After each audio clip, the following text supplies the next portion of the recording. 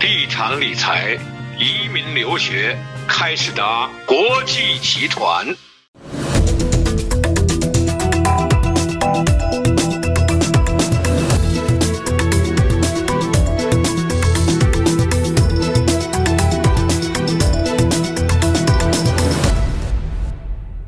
夏天到了，那几乎每一个月呢，美国人都会创新出一种又一种的甜品。那我们的任务就是致力于帮您挖掘这些美食。今天我就为大家带来四种不同的甜品。那这些甜品共同的特点一定是有让人爱不释手的口味和外貌。首先为大家介绍的甜品就是可颂甜甜圈。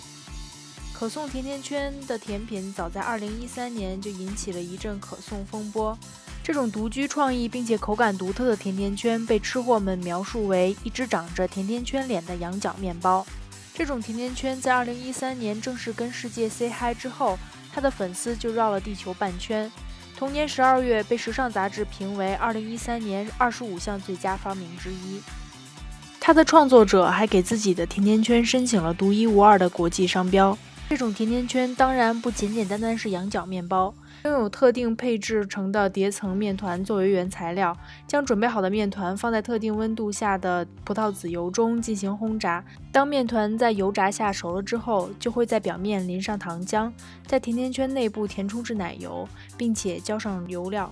这里的可颂甜甜圈全部都是每天新鲜出炉的，某些可颂甜甜圈的制作时间甚至需要花费三天。店内每个月只会推出一种口味的可颂甜甜圈。想要品尝到美味的可颂甜甜圈，那就快来这家看看吧。第二个为您介绍的是彩虹百吉饼。这家百吉饼店拥有疯狂的爱好者，时常会有将近一百多个人把它团团围住，并且只是为了苦苦哀求一口百吉饼。一探究竟才知道，这家出售的彩虹百吉饼被称为全世界最美的百吉饼。百吉饼最大的特色就是在烘焙前，先用沸水稍稍将已经成型的面团煮一下，能够让面团产生一种独特的韧性和与众不同的风味，低脂肪、低胆固醇、低发酵的特点。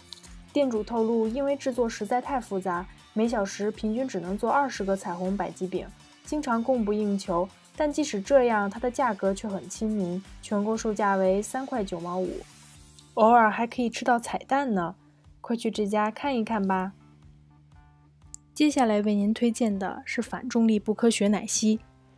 最近在美国的一款奶昔被吃货们称为反重力不科学奶昔 （milkshake）。看到这款奶昔的时候，任谁都会误以为牛顿的棺材板在抖动。反重力不科学奶昔当然不是浪得虚名，它经过了老美吃货们的重重考验下，才得到了大家的追捧。但是为什么它能够赢得大家的喜爱呢？超大尺寸的奶昔放在眼前，映入眼帘的肯定是奶昔顶上满满那些五颜六色、不科学的奶油蛋糕、曲奇棉花糖。当你回过神来的时候，你已经被一堆 M&M 豆、花生酱、奶油、饼干、苏打水和糖浆包围着。为了能让你顺利地吸取奶昔，Black Tap 还将一根很粗的吸管穿过奶昔上面的装饰。这样你就能够慢慢的欣赏反重力不科学奶昔不科学的装饰了。这么美味的奶昔，任谁能够拒绝呢？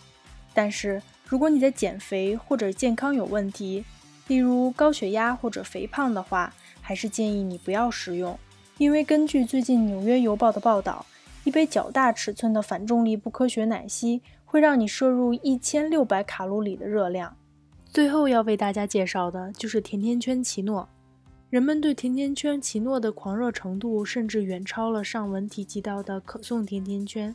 它在杯子里倒入混有巧克力酱的冷泡咖啡之后，接着在咖啡的表面喷上一层浓浓的奶油作为点缀，接着将吸管从奶油的顶部一直贯穿到杯子底部，最后再将迷你甜甜圈穿过吸管顶在奶油的头上。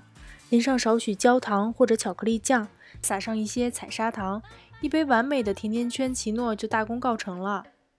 这么美味的美食却只在周五、周六和周日才能买到，光顾的时候一定要记得看时间呀。